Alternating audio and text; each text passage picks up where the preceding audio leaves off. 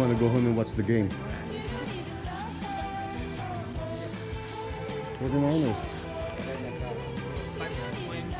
Apartment, eh?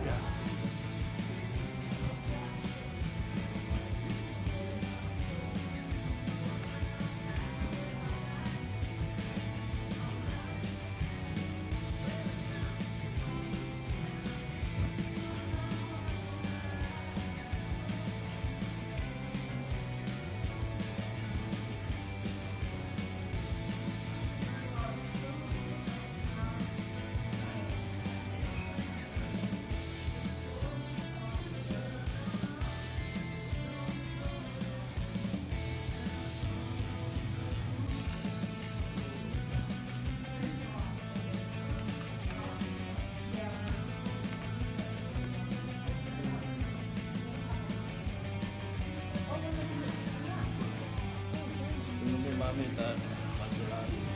Forget it, I'll still do it. Pagod na ako. Kumain tayo kasi eh. Pagkatapos ng kumain, nantok ka na.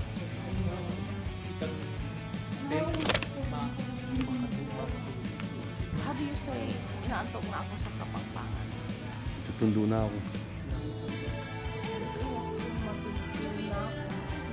Matutulog May tutundo na ako. Bisa na ako matutod.